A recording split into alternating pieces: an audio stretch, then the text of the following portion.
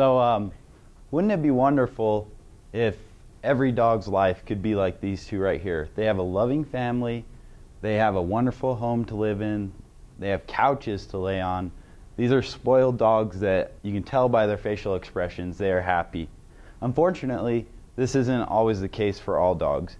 This here is a picture of a dog in a shelter. You can see it's behind bars. It lives with no furniture, nothing. It's just a concrete slab that it lives on. Very little food, very poor living conditions.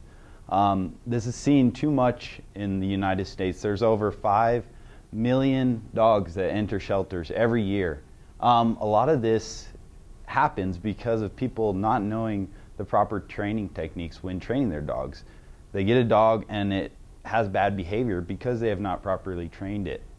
Um, and another big problem is they're unaware of the responsibilities that come with owning a dog. They, they cost money and they're a lot of work. You have to have time for them.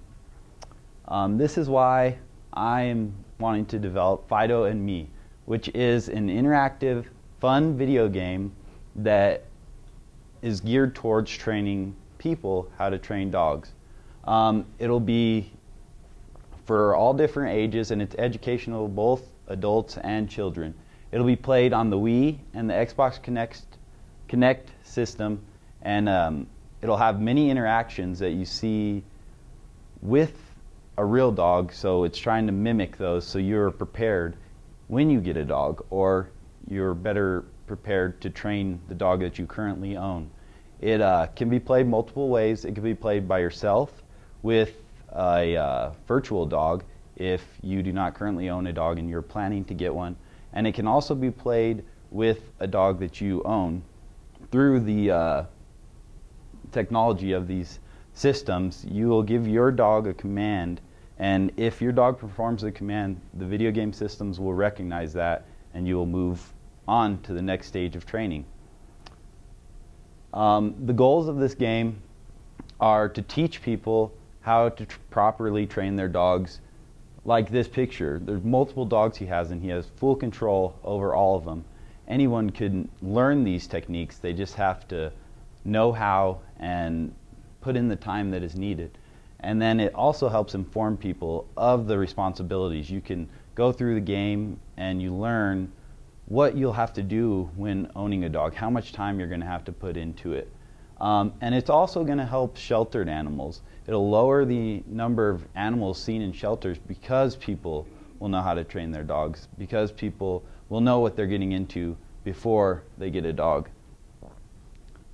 Um, so, sort of for the future, I would like to see an implementation of some type of test or assessment that you have to go through, similar to obtaining your driver's license, that you have to go through to adopt a dog.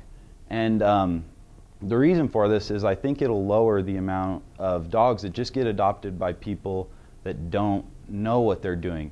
And this video game can help those type of people because it'll teach them what they need to know to pass the test and also let them know what it is they're getting themselves into.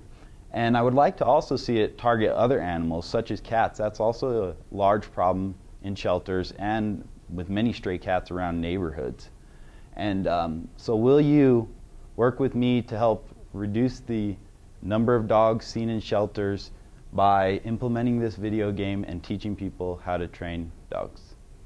Thank you. Yes.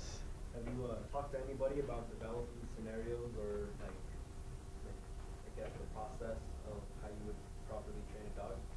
Um, you know, I haven't talked to anybody, but um, a lot of the thought behind this comes from Cesar Millan's show and just learning stuff from there. I know I've learned lots of stuff from his show, and I think there's lots of information out there. I would just like to make it accessible all in one packet where you don't have to go search for it and you can actually learn it interactively. So you learn to do it like with your current dog or something that's more real than just reading about it in a book. Any other questions?